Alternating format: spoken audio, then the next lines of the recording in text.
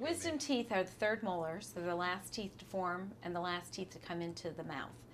And generally, there's not enough room in the dental arches uh, for the wisdom teeth, so they get stuck either under the gum or bone, uh, which is called impacted wisdom teeth. Impacted wisdom teeth can become problematic because they can cause damage to the adjacent teeth in terms of uh, uh, trapping food and causing decay either in the wisdom teeth or in the uh, back side of the second molar teeth. They can also lead to periodontal pocketing in that region. Uh, there's some incidence of causing dental crowding as these teeth uh, are often in an abnormal position and they can put other forces on other teeth.